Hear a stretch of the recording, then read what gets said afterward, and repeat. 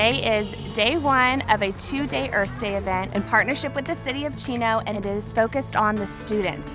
The students take part in a lot of hands on activities, teaching them about the water cycle, about recycling. They will have animal encounters and learn about their natural resources and how to preserve them. Also, the students will be taking a pledge to be an environmental steward.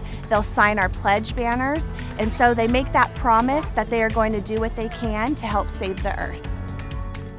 Everything that you can do to help the environment is beneficial. That's why we come out here and try and educate the students so we can spread the word.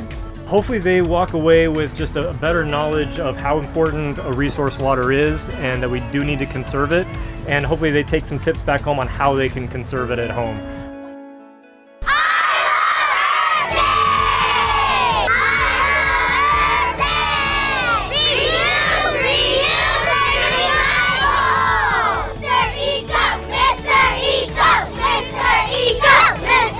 Uh, it's an awesome event where they bus in all these kids and I'm pumped to be a part of it, to be able to inspire and empower them through our hip hop music because it's all about empowering the kids to become eco-heroes. Let me hear you say, I am a hero. I am a hero. I am a hero. I am a hero. It's really special to have these animals out here and see the kids' eyes light up. That's one of our biggest missions is education. So it's very important for kids to have an understanding of why it's important to protect our earth and keep the animals around who help us out. Also, we want them to experience the Chino Creek Wetlands and Educational Park. It's right behind our headquarters. It has 1.7 miles of hiking trails, surface ponds, natural habitat, a lot of educational signage throughout the park, teaching the community how to save water and be good environmental stewards. I like that one, it's accessible for our students, um, two, that it's easy to access for low income schools like ourselves, and three, that I think that it makes it really applicable and hands-on and fun for the students.